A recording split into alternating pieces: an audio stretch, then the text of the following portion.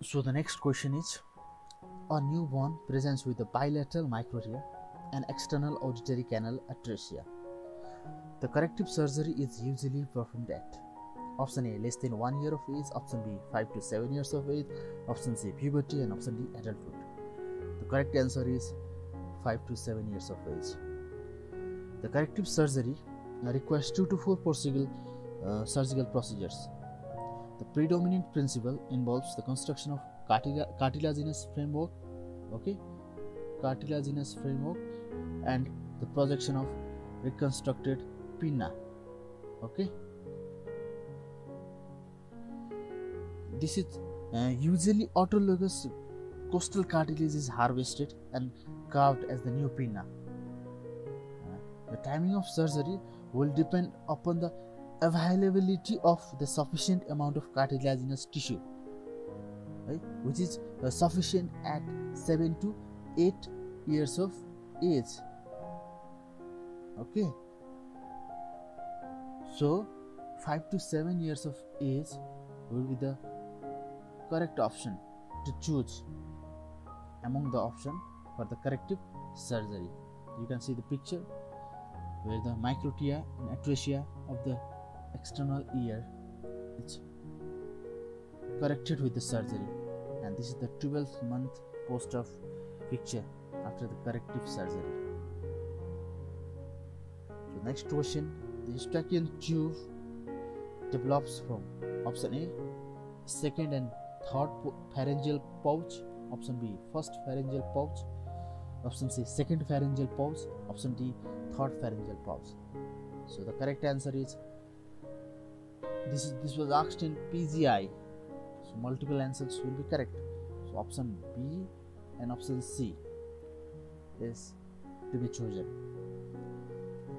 uh, from the first pharyngeal pouch along with a small part of second pouch that is tubo-tympanic recess develops the middle ear cleft. And what are included in the middle ear cleft? We have to know this okay middle ear with Eustachian tube and mastoid air cells. These are present in the middle ear cleft. Okay, Eustachian tube, middle ear, aditus, antrum, and mastoid air cells. So, what develops from second pharyngeal pouch? Most tonsil. Okay, from third pharyngeal pouch, inferior parathyroid and thymus from the fourth pouch superior parathyroid and some part of thyroid. Okay? So the next question is easy one. The following structure represents the all of the three components of the embryonic disc. Option a tympanic membrane. Option b retina. Option c meninges. And option d none of the above. So the correct answer is tympanic membrane the first cleft grows and meets the first pouch medially to form the tympanic membrane. So the tympanic membrane is made up of three layers. Outer epithelial layer from the ectoderm, inner endothelial layer from the endoderm, and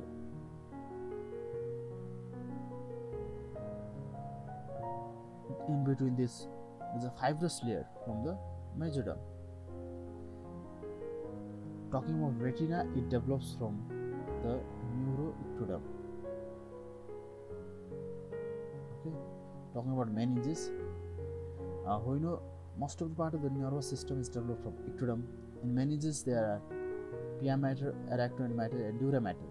This pia mater and the arachnoid mater are derived from the neural crest.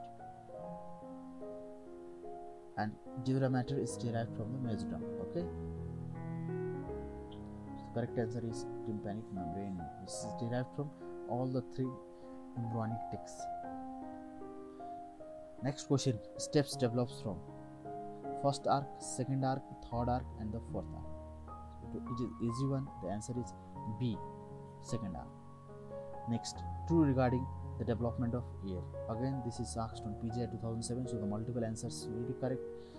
Option A: Eustachian tube develops from first cleft B. Eustachian tube opens behind the level of the inferior turbinate. Option C. Pinna develops from first pouch. Option D. growth of the organ of Corti is completed by the fifth month. Option E. Ossicles are adult size at birth. So let's see which are correct. Option A is wrong because eustachian tube develops from first and second pouch or arc.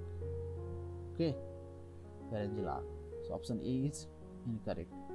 Eustachian tube opens behind the level of inferior turbinate. This is correct. Pinna develops from first pouch and second pouch. We already discussed this MCQ, so this is incorrect. And growth of the organ of Corti is completed by fifth month. This is correct. Ossicles are adult size. Yes. Malleus incus stapes are adult size at birth. This is correct. So next question is Korner septum is seen in option A petrosquamous suture, option B temporosquamous suture, option C petromastoid suture, option D frontozygomatic suture. The correct answer is petrosquamous suture. Okay. So in this picture you can see the squamous and the petrous part of the temporal bone okay? You can see this is the master tube this is the styloid process this is the external auditory canal this is zygomatic this, this is sigmoid venous sinus. So the Korner septum is present at the petrosquamous suture so to the theory the mastoid develops from squamous and petrous bones. Is persistent of petrosquamous suture this suture as a bone plate separating the superficial squamous cells from the deep petrosal cells is called the Korner's septum. Okay this Korner septum it forms the false bottom of mastoid antrum okay it forms the forms the first bottom of mastoid antrum what is the surgical importance of Korner's septum? It, it may be difficulty in locating the antrum and deeper cells leading to incomplete removal of disease at mastoid mastoidectomy So to reach the mastoid antrum, the Korner septum is to be removed.